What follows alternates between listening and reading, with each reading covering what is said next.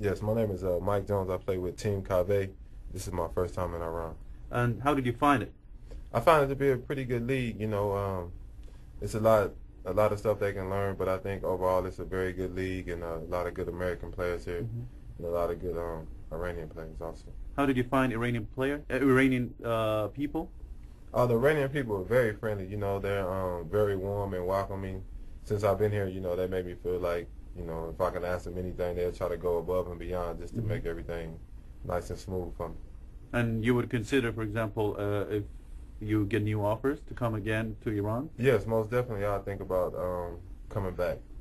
Uh, what made you? I mean, what was the most interesting part of Iranian basketball that uh, attracted you to come? Well, on top of the money, I knew it was a, I knew it was an up and coming league. You know, like I told you, I, I knew a guy who played here last season.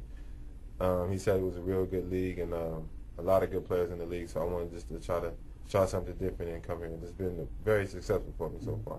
As you know, Iran has already qualified for the Olympics. Uh, what do you make of it?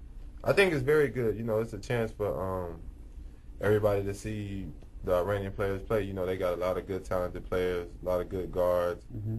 a lot of um, you know, we got a big guy on our team. Musa is a very big and athletic, strong guy. So uh, hopefully they'll do well in the Olympics, and I wish them good luck. Thank you so much. Is this your first- first experience to be in Iran? Yes, it is my first Uh, experience. how did you find it? Uh, I found it quite, quite interesting. You know, the basketball is very good. The people here are very warm and caring, and um, everything is all right here. Mm-hmm. And how did you uh, find the Iranian basketball? Um, like I said, I think it's work in progress, but it's definitely one of the leagues, one of the up and coming leagues Mhm. um, across the world. The Mhm. players here are very athletic and very talented, and they're bringing in coaches now, and the Iranian coaches are, um, you know, they're teaching the fundamentals of the game, and I think things will be okay. And would you consider to stay in Iran and if you get any more offers for the next season?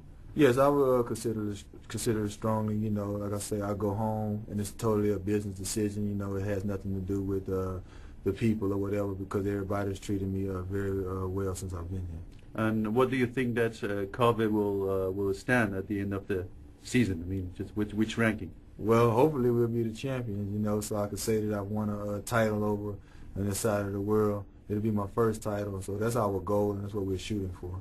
Thank you. All right, thank you.